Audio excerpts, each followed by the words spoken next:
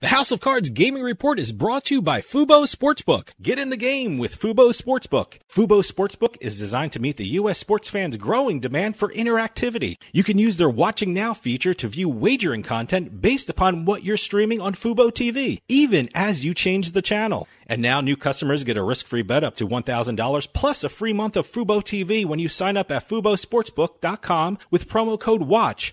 W A T C H. That's promo code WATCH when you sign up to get your first risk free bet up to $1,000 at Fubo Sportsbook, plus a free month of Fubo TV. Sign up, then sync up to enjoy one of the most unique and personalized sports experiences in the market today.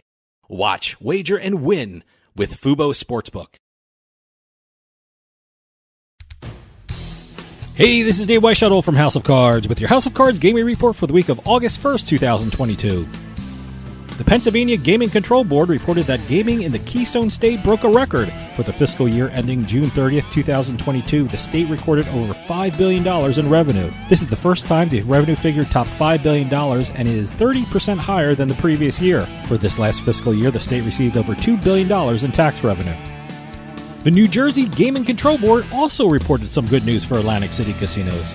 For the first half of 2022, all nine Atlantic City casinos reported increased revenues from this time last year. For the first half of the year, the Garden State casinos reported $1.3 billion in revenue compared to the $1.1 billion from the first half of 2021. The biggest increase was from Hard Rock, which saw a 27.8% increase in revenue for the first six months of 2022. And finally, the poker world has a new champion. Norway's Espen Jorstad won the 2022 World Series of Poker main event. Jorstad defeated a field of over 8,600 poker players to take home the coveted gold bracelet and the $10 million grand prize. According to WSOP.com, the $10 million prize makes Jorstad the most successful Norwegian poker player in history. Congratulations from all of us at House of Cards. Have any news or tips regarding casinos, gaming, or legislation? Send us an email at newsroom at houseofcardsradio.com and follow us on Twitter at HOC Radio.